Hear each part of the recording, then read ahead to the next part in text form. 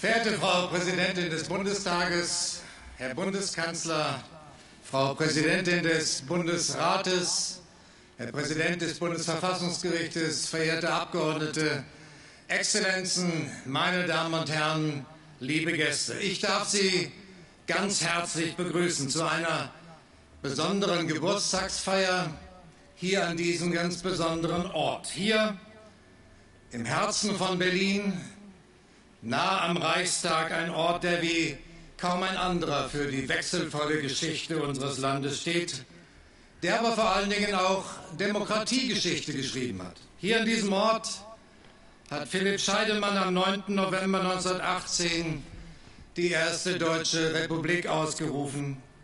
Hier an diesem Ort hat Ernst Reuter im September 1948 seinen flammenden Appell an die Welt und die Bürger Berlins gerichtet. Hier in diesem Ort hat 1990 zum ersten Mal das gesamtdeutsche Parlament getagt.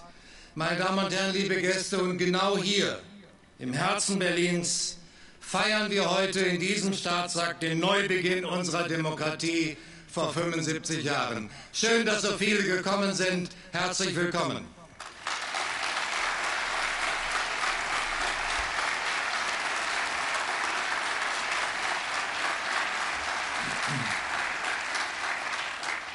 Wir danken denen, die uns das Fundament einer neuen freiheitlichen und demokratischen Ordnung gegeben haben.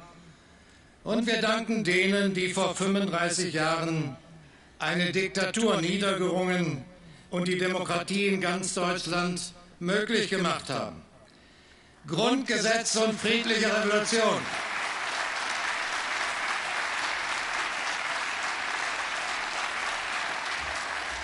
Grundgesetz und friedliche Revolution. Was ist das für ein Glück, was wir da in unseren Händen halten? Ich hoffe, wir machen uns das immer wieder bewusst, meine Damen und Herren.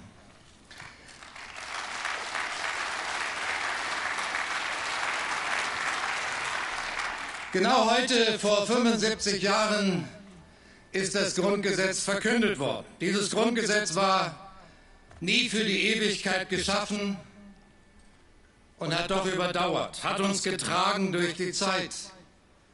Und nach einem Dreivierteljahrhundert ist es jung geblieben, nicht alt, erst recht nicht veraltet, wenn auch inzwischen eine der ältesten Verfassungen der Welt, die zum Vorbild für viele andere Verfassungen, die danach kamen, geworden sind. Meine Damen und Herren, ein Provisorium sollte es sein, aber was für eins. Ein Meisterwerk, was da in zwei Wochen zunächst als Expertenentwurf in Herren Chiemsee, dann in wenigen Monaten im Parlamentarischen Rat leidenschaftlich diskutiert, errungen, auf den Weg gebracht worden ist. 12.500 Worte, bestechend klar, nüchtern oft, aber doch so elegant. 12.500 Worte in 146 Artikeln. Mehr brauchten sie nicht. Die vier Frauen und 61 Männer.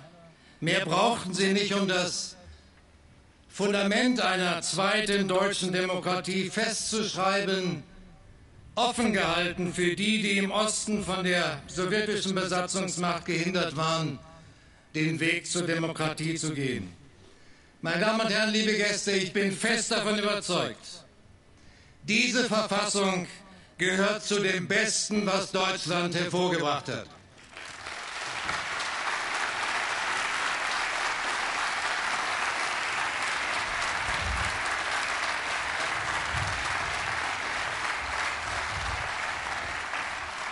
Und wenn wir zurückschauen, eigentlich doch ein Wunder. Ein Wunder, wenn wir uns klar machen, unter welchen Bedingungen dieses großartige Werk entstanden ist. Nach der Barbarei des Nationalsozialismus war unser Land zerstört, moralisch zerrüttet, die Städte verwüstet, unzählige Menschen heimat- und obdachlos, Millionen aus dem Osten geflüchtet und vertrieben, Millionen in Kriegsgefangenschaft. Was für einen Staat sollte man eigentlich in einer solchen Situation entwerfen. Was hat die Menschen, die mit dieser Aufgabe betraut waren, was hat sie bewegt? Die Frauen und Männer des Parlamentarischen Rates waren geprägt von Diktatur, Krieg und Völkermord. Sie zogen die Lehren aus der Geschichte der Weimarer Demokratie und sie einte vor allen Dingen eine Erfahrung. Im Namen des Staates waren die schlimmsten Verbrechen begangen worden. Die Gefolterten von Dachau und Buchenwald, die Ermordeten von Auschwitz, die Gefallenen von Stalingrad, die Millionen Toten in ganz Europa, die sollten nicht vergessen werden in diesem neuen Deutschland. Nie wieder sollte ein Staat für solche Verbrechen missbraucht werden. Der Staat sollte für die Menschen da sein, hieß es damals, nicht umgekehrt. Oder noch kürzer, nie wieder. Das ist das Vermächtnis, von dem wir uns auch heute leiten lassen müssen, meine Damen und Herren.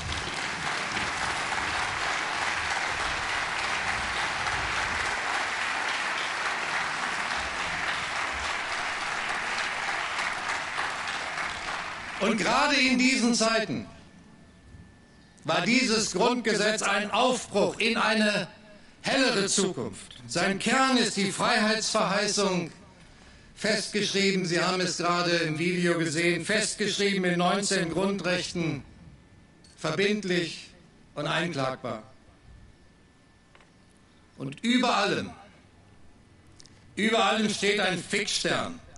Jener große, fulminante Satz in Artikel 1, in dem die Erfahrungen der nationalsozialistischen Gewaltherrschaft ebenso wie die Erwartungen an die zukünftige Republik sich in ganz einzigartiger Weise bündeln. Der Satz, den wir gerade von Margot Friedländer gehört haben, die Würde des Menschen ist unantastbar. Dieser Satz, liebe Gäste, hat nichts von seiner Bedeutung eingebüßt, nichts von seiner Wucht verloren. Er ist kategorischer Imperativ unserer Verfassungsordnung. Er ist moralische Selbstverpflichtung zugleich. Das Grundgesetz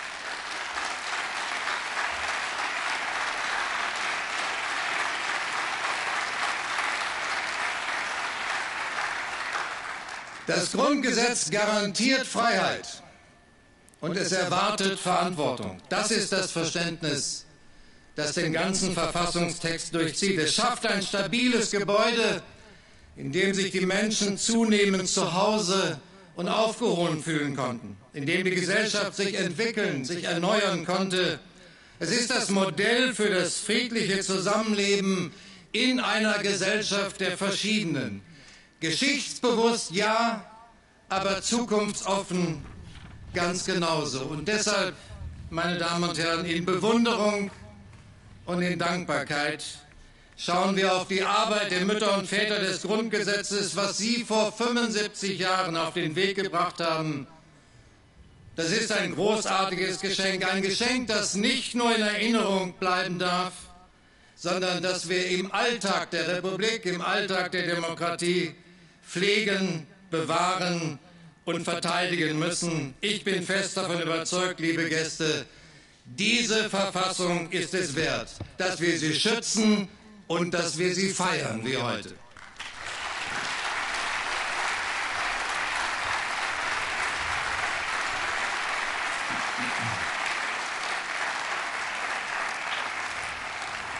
Ja, das Grundgesetz wird 75 Jahre alt.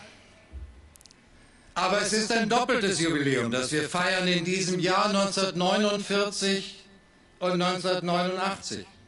75 Jahre Grundgesetz, 75 Jahre friedliche Revolution und Mauerfall. Das mag ein historischer Zufall sein, dass diese beiden Jubiläen zusammenfallen in diesem Jahr.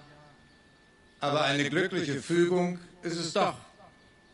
Schon in der Präambel des Grundgesetzes die Präambel wendet sich an das gesamte deutsche Volk. Die Mütter und Väter des Grundgesetzes ahnten bereits, dass ein vereintes Deutschland damals 1949 noch in weiter Ferne lag. Ich finde, umso mehr berührt uns heute die Hoffnung, die aus dieser ersten Präambel sprach. Es sollten 40 Jahre vergehen, bis sich das Freiheitsversprechen des Grundgesetzes für alle Deutschen erfüllen konnte. 40 Jahre, in denen viele Frauen und Männer in der DDR von den Freiheitsrechten träumten, wie sie das Grundgesetz garantiert. Und ich glaube, genau für diese Freiheiten sind sie aufgestanden im Jahre 1953 und dann zu Hunderttausenden im Jahre 1989. Ihnen und Ihrem Mut verdanken wir, dass unser seit Jahrzehnten geteiltes, zerrissenes Land wieder eins werden konnte, meine Damen und Herren.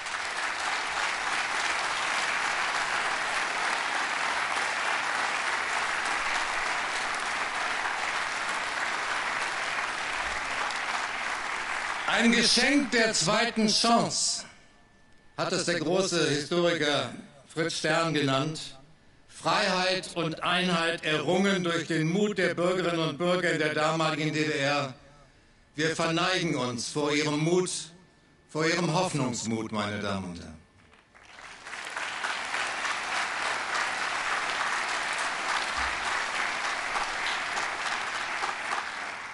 Ja, nicht alles, aber so vieles ist uns seitdem gemeinsam gelungen. Deshalb schmerzt es mich, wenn manche im Osten mich fragen, was hat dieses Grundgesetzjubiläum eigentlich mit mir zu tun?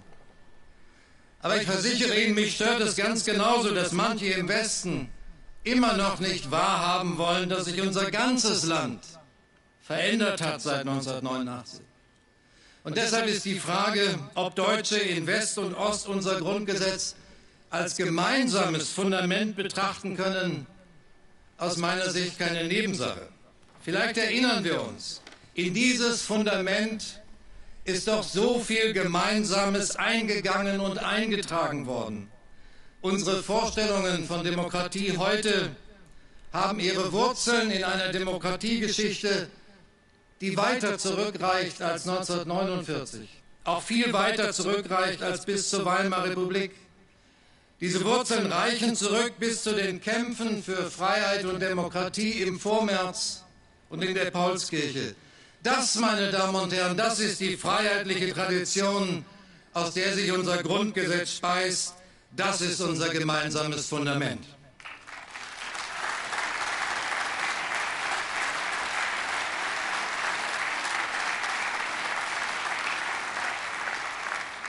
Und wahr ist doch auch, fast dreieinhalb Jahrzehnte hat sich unser Grundgesetz bewährt im wiedervereinigten Land. Wir sind zusammengewachsen zu einem Land, das heute viel mehr ist als die Summe zweier Teile, einem Land, das sich hin zu etwas Neuem verändert hat. Das Grundgesetz hat dafür immer wieder die Wege geebnet. Es ist eine Verfassung der Freiheit, um die uns weltweit so viele Länder beneiden. Und deshalb sage ich, 1949, 1989, es sind die beiden entscheidenden Wegmarken in der Geschichte unserer Republik. Das Grundgesetz und die friedliche Revolution. Sie haben die zweite deutsche Demokratie. Oder ich sollte besser sagen, Sie haben uns zu dem gemacht, was wir heute sind. Wir feiern zusammen, meine Damen und Herren, weil wir zusammen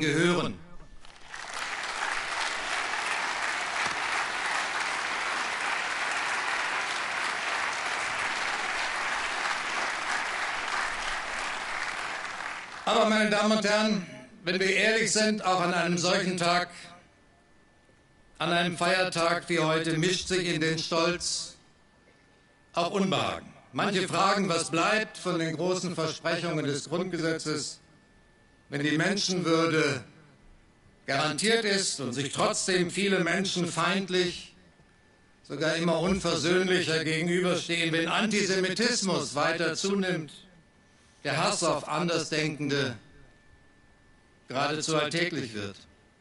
Und andere fragen, wie passt das mit unserem Grundgesetz zusammen, wenn Journalistinnen und Journalisten bedroht und angegriffen werden? Wenn Fake News die sozialen Medien fluten und die Räume für Debatten immer enger werden? Und wie passt das, wenn trotz Gleichberechtigung und Diskriminierungsverbot Frauen im Netz auf übelste Weise an den Pranger gestellt werden, weil sie Frauen sind. Ja, die Spannung zwischen Verfassung und Verfassungswirklichkeit, die ist nicht zu übersehen, aber folgen muss daraus nicht ein kritischer Blick auf die Verfassung, sondern auf die Wirklichkeit. Denn das Grundgesetz ist keine Bilanz, sondern ein Auftrag. Es ist nicht das Ziel, sondern ein Kompass. Unser Grundgesetz sagt nicht, was wir sind sondern unser Grundgesetz zeigt, was wir sein können. Darin steckt eine Aufforderung, meine Damen und Herren, für uns, für unsere Zukunft. Und das verlangt Mut, Tatkraft, vor allen Dingen den offenen Blick für die Realität. Und wir müssen erkennen, dass sich diese, Radikal dass sich diese Realität in den letzten Jahren radikal verändert hat. Nach Jahrzehnten von mehr Wohlstand, mehr Demokratie, mehr Europa, mehr Frieden, dem Glück der deutschen Einheit, mussten wir erleben einen epochalen Bruch. Mit Russlands brutalem Angriff auf die Ukraine ist der Krieg zurückgekehrt nach Europa. Ein zynischer Angriffskrieg, der uns in eine Unsicherheit gestürzt hat, die wir doch überwunden glaubten. Das verändert verändert nicht nur die Prioritäten der Politik, das berührt auch den Alltag der Menschen. Manche Gewissheiten, mit denen wir gerne gelebt haben, die unser Leben geprägt haben, sind weniger geworden. Wir leben in so etwas wie einer neuen Unübersichtlichkeit. Pandemie, Inflation, Wirtschaftskrise, die Folgen des Klimawandels, der Terror der Hamas, der Krieg im Nahen Osten, die humanitäre Katastrophe dort. Eine Krise folgt auf die nächste. Und Sie alle hören vermutlich häufiger, dass Nachbarn oder ihre Freunde sagen, ich schaue mir keine Nachrichten mehr an. Menschlich mag das verständlich sein, aber ein Rückzug von der Wirklichkeit, das ist keine Lösung, politisch nicht. Für mich steht fest, meine Damen und Herren, wir leben in einer Zeit der Bewährung. Es kommen raue auch härtere Jahre auf uns zu. Und die Antwort darauf können und dürfen nicht Kleinmut oder Selbstzweifel sein. Es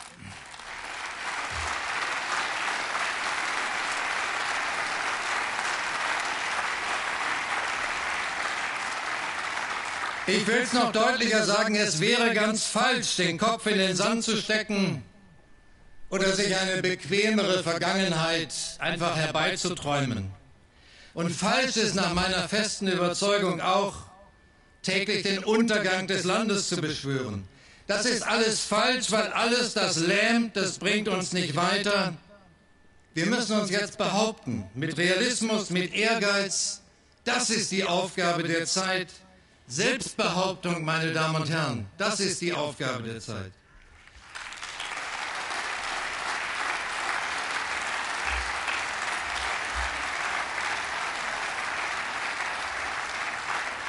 Und Selbstbehauptung beginnt mit dem klaren Blick auf das, was zu tun ist.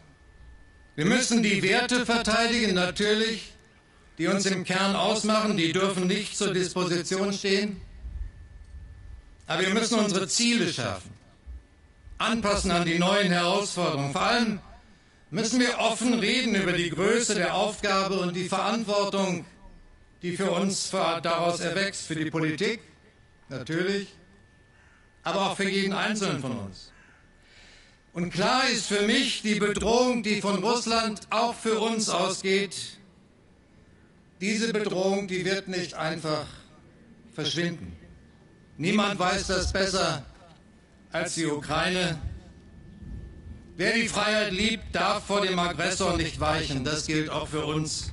Und niemand weiß,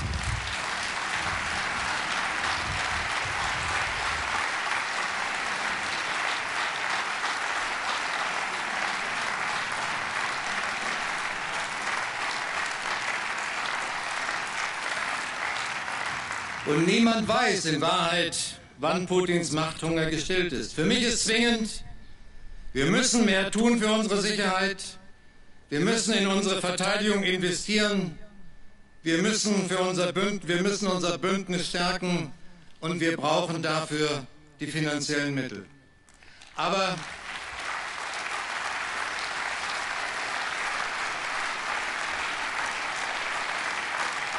Aber vergessen wir nicht, meine Damen und Herren, was es dafür ebenso braucht. Eine starke Gesellschaft. Eine starke Gesellschaft, die um den Wert der Freiheit weiß und die bereit ist, Bedrohungen der Freiheit entgegenzutreten, die um ihren Zusammenhalt weiß. Zusammenhalt heißt nicht, überhaupt nicht, dass alle einer Meinung sind oder sein müssen. Zusammenhalt heißt zu wissen, dass wir einander brauchen, auch wenn wir unterschiedlich sind. Und dieses Wissen, das entsteht ganz häufig aus Erfahrung, vor allen Dingen aber aus Begegnung. Und diese Art von Begegnung, die müssen wir stärken. Militärische Sicherheit und gesellschaftliche Widerstandskraft, beides gehört zusammen. Deshalb, so sage ich, deshalb sollten wir die Debatte über Formen des Wehrdienstes und anderer Dienste für unser Gemeinwesen nicht scheuen, sondern führen und wenn es nach mir geht, zusammenführen.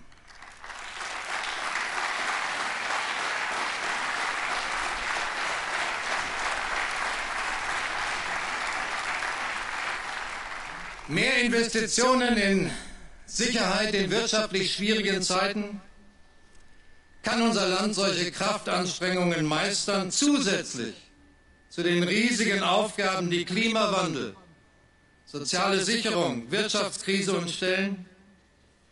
Kann unsere Gesellschaft die Konflikte bestehen, bewältigen, die daraus entstehen? Hier wartet, glaube ich, eine der nächsten größeren Aufgaben in den kommenden Jahren auf uns. Wir müssen uns darauf einrichten, wir werden in den nächsten Jahren nicht weniger Streit haben, vielleicht eher mehr. Der Kampf um finanzielle Ressourcen wird härter werden und damit natürlich auch der Streit über das, was wichtig ist.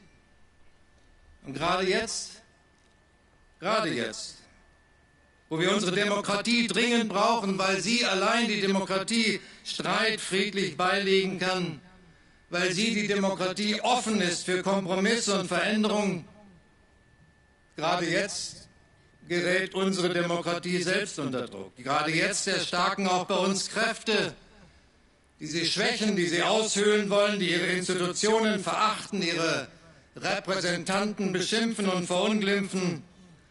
Ja, unsere Demokratie ist geglückt. Aber wir müssen wissen und müssten wissen, auf ewig garantiert ist sie nicht. Und schützen werden sie nicht andere. Schützen müssen wir sie selbst. Auf uns und jeden von uns kommt es an.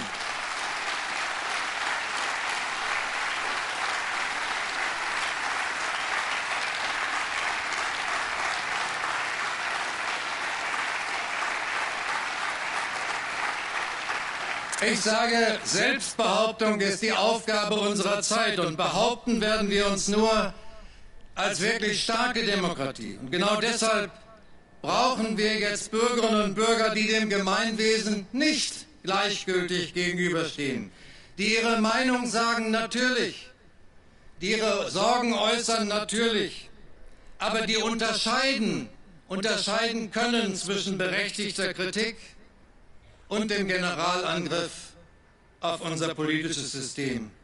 Und genau deshalb geht es jetzt auch darum, die Bürgerinnen und Bürger unseres Landes zu erreichen, zu überzeugen, die keine Extremisten sind, die aber vielleicht mit der Politik, mit unserer Gesellschaft, gelegentlich auch mit der Demokratie hadern. Es ist doch eigentlich seltsam, meine Damen und Herren, liebe Gäste, es ist seltsam, wir alle reden, chatten, posten, mailen immer mehr. Auf allen Kanälen, Tag und Nacht. Und dennoch haben immer mehr Menschen den Eindruck, dass sie nicht gehört und nicht verstanden werden.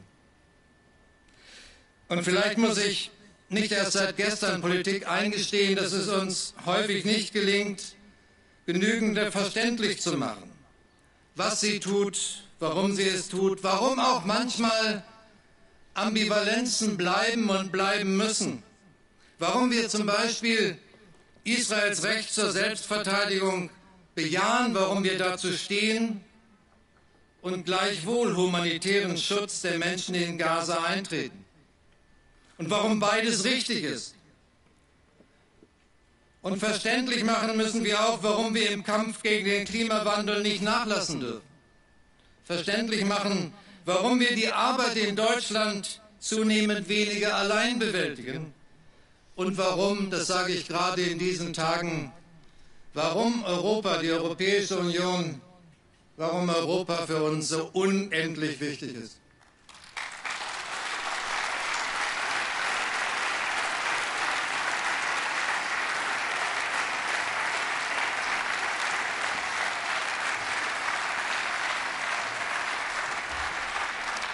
Wir, Politik, muss Fragen beantworten, die sich viele Menschen in unserem Land stellen. Warum verlassen manche Kinder unsere Grundschulen, ohne lesen und schreiben zu können? Sie kennen das. Warum sind Brücken marode?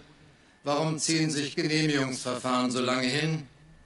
Ist es nicht möglich, humanitäre Flüchtlingspolitik zu bewahren, ohne uns zu überfordern? Wie können wir zusammenleben in einem Land, das vielfältiger ist als 1949? Auch vielfältiger als 1989. Keine dieser Fragen ist neu und es sind nicht Extremisten, die sie stellen, sie kommen oft aus der Mitte der Gesellschaft. Wir sollten tun, was wir können, um überzeugende Antworten zu finden, auch um wachsender Entfremdung zwischen Politik und Gesellschaft den Boden zu entziehen. Denn in einer zunehmend polarisierten Gesellschaft, in der nur noch die da unten, von denen da oben reden, in einer solchen Gesellschaft schwindet das Vertrauen in demokratische Institutionen. Aber für eine stabile und starke Demokratie, von der ich spreche, brauchen wir beides. Funktionierende politische Institutionen und Bürgerinnen und Bürger, die sie, die Demokratie, zu ihrer Sache machen.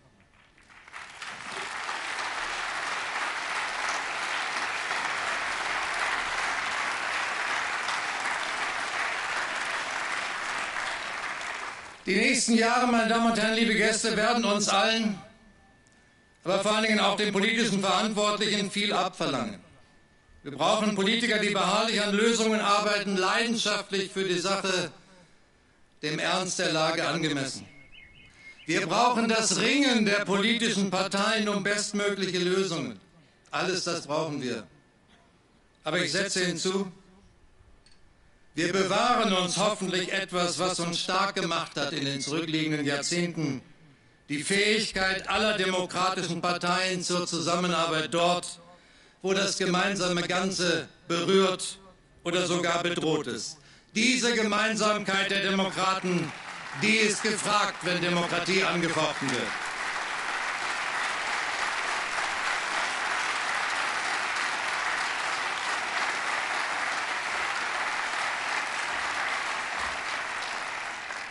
Meine Damen und Herren, ich hebe auch das so hervor. Ich sage das deshalb auch, weil ich weiß, in wenigen Tagen werde ich beim Gedenken für Walter Lübcke sprechen. Vor fünf Jahren wurde er, der langjährige Politiker, zuletzt Regierungspräsident von Kassel, ja regelrecht hingerichtet. Hingerichtet, weil er für eine offene, tolerante Gesellschaft stand. Sein Tod wie die Taten von Solingen, Hanau, Halle, die Ermordeten des NSU. Das ist uns Mahnung und Warnung zugleich, wie aus Hass Gewalt werden kann. Zuletzt fast täglich erreichten uns Nachrichten von täglichen Angriffen auf Mandatsträger, politisch Engagierte. Und ich muss Ihnen gestehen, ich bin zutiefst besorgt über die Verrohung der politischen Umgangsform in unserem Land.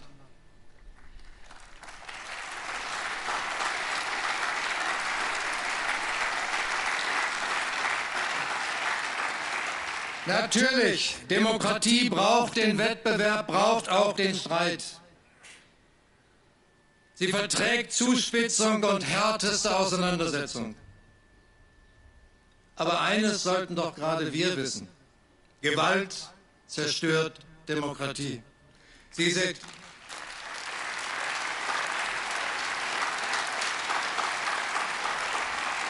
Gewalt zerstört Demokratie, sie sät Angst, sie sät Misstrauen, sie entmutigt, sie lässt Menschen verstummen, die eine Demokratie braucht. Wer Angst um sich und seine Familie haben muss, der bewirbt sich nicht um politische Verantwortung. Und ich habe viele getroffen in den letzten drei, vier Jahren, viele, die aufgegeben haben, Beschimpfung und Verunglimpfung nicht länger ertragen haben. Unsere Demokratie, gerade in den Städten und Gemeinden, braucht aber Menschen, die Verantwortung übernehmen, die ihren Ort liebens- und lebenswert halten. Fehlen die, fehlen diese Menschen, dann verdorrt unsere Demokratie an ihren Wurzeln, dann trocknet sie von unten aus. Auch deshalb dürfen wir der Gewalt in der Demokratie keinen Raum lassen, meine Damen und Herren.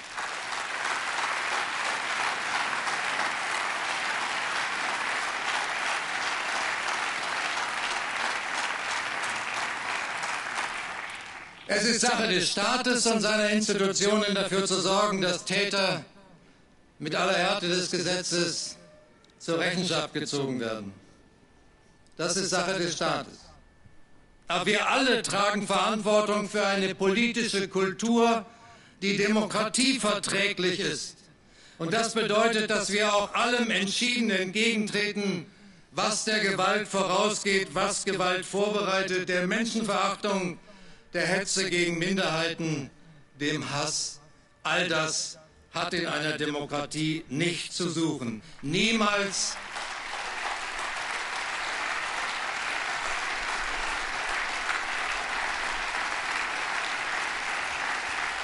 Niemals dürfen wir uns an Gewalt im politischen Meinungskampf gewöhnen.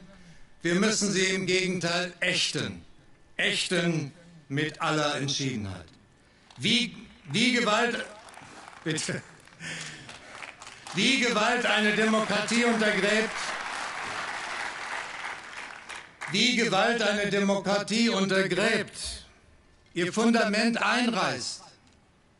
Wer wüsste das besser als die Mütter und Väter unseres Grundgesetzes? Es war ein schmerzliches Mittel.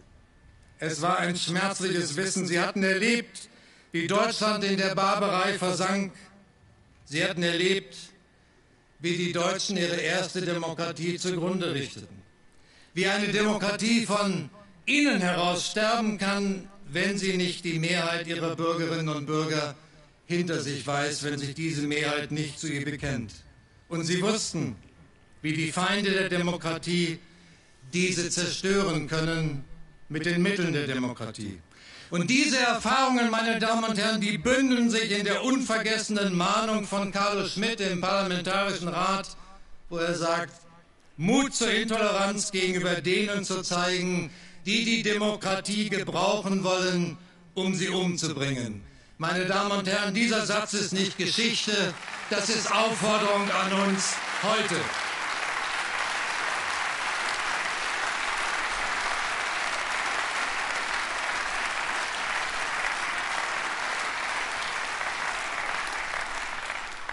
Ja, und deshalb heute im 75. Jahr des Grundgesetzes sind wir gefragt, die Errungenschaften von Freiheit und Demokratie zu verteidigen. Und das ist in der Tat eine Haltung, eine Frage der Haltung für uns alle.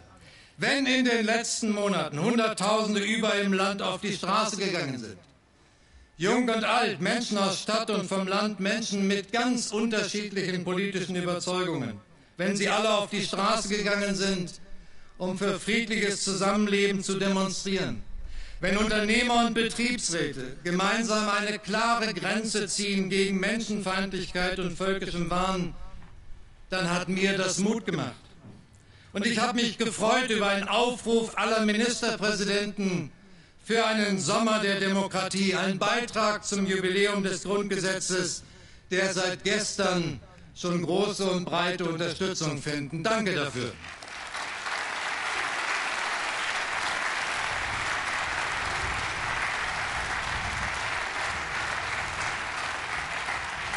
Sie alle haben gezeigt, unsere Demokratie ist wehrhaft. Wer heute unsere liberale Demokratie bekämpft, muss wissen, dass er es dieses Mal mit einer kämpferischen Demokratie und mit kämpferischen Demokratinnen und Demokraten zu tun hat. Ich danke allen, die genau diese Haltung zeigen und ich danke allen, die jetzt in großer Zahl bereit sind, sich genau dafür in die Pflicht nehmen zu lassen. Was wir jetzt brauchen, sind Bürgerinnen und Bürger, die nicht sagen, was kümmert mich das, sondern die sagen, ich kümmere mich. Und davon gibt es viele Millionen in unserem Land, Ehrenamtliche, die sich engagieren. Darunter ganz viele, die zugewandert sind und unser Land seit Jahrzehnten mitprägen. Junge Leute, die gebeutelt von der Zeit der Pandemie sich trotzdem in den Dienst der Gemeinschaft stellen. Sie alle, Sie sind das stabile Rückgrat unserer Demokratie. Es ist genau dieses Engagement, das uns stärkt und Zusammenhalt schafft. Besinnen wir uns, meine Damen und Herren, auf genau diese Stärke.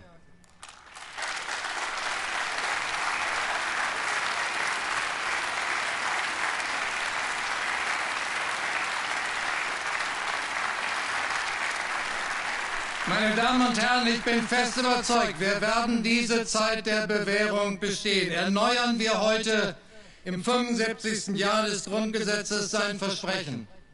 Stehen wir zusammen gegen die Feinde der Demokratie, halten wir aus, was uns trennt, aber stärken wir das, was uns verbindet. 1949 lag unser Land in Trümmern. Die Mütter und Väter des Grundgesetzes hatten trotzdem den Mut, eine helle Zukunft zu entwerfen. Und 1989, in den Jahren davor, schien die SED-Diktatur unüberwindbar. Die Menschen in der DDR rissen trotzdem die Mauer ein. Die Mütter und Väter des Grundgesetzes, die wollten, so sagt es im Parlamentarischen Rat, die Mütter und Väter des Grundgesetzes wollten ein besseres Deutschland bauen. Ich finde, Sie haben uns ein freiheitliches, ein demokratisches, ein gutes Deutschland hinterlassen. Deshalb bewahren wir das Erbe, das uns anvertraut ist. Tragen wir es weiter. Heute ist es an uns, uns in schwieriger Zeit zu behaupten, es ist an uns, die Geschichte der Demokratie weiterzuschreiben. Und meine Bitte ist, gehen wir diese Aufgabe gemeinsam an. Aufrecht, und einander zugewandt.